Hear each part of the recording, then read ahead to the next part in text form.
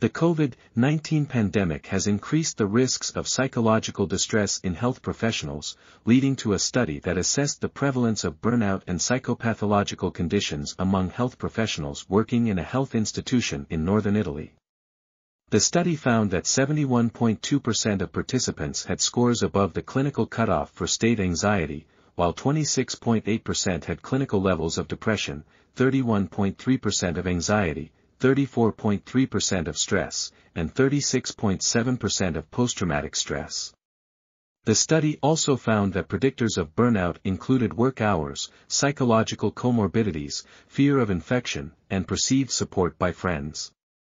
Additionally, female gender, being a nurse, working in the hospital, and being in contact with COVID-19 patients were predictors of emotional exhaustion and depersonalization, while age was a predictor of reduced personal accomplishment.